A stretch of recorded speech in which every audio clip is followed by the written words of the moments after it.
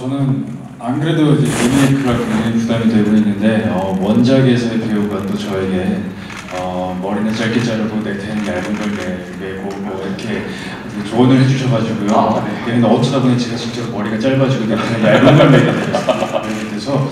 아, 뭐 제가 어, 그 말을 꼭 들으려고 한 건 아니에요. 네, 근데 이제 아, 어쩌다 보니, 저는 네. 캐릭터를 표현하기 위해서 아 이게 되게 좋겠다. 네, 저의 생각에서 나온 거고.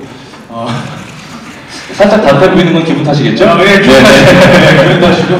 네, 어, 그리고 또 이제 안 그래도 이제 좀 천재적인 능력을 가지고 있다 보니까 이제 대사 부분에서도 그렇고 어, 그런 톤앤 매너 잡는 게 굉장히 사실은 쉽지가 않았어요. 근데 그런 부분에서는 또 이제 감독님께서 많이 잡아주시고 계셔서 아마 어, 또 색다른 어, 캐릭터를 또 보실 수 있을 것 같습니다. 네. 기대해 주세요. 네, 고맙습니다. 고상민 씨 답변 부탁드리겠습니다.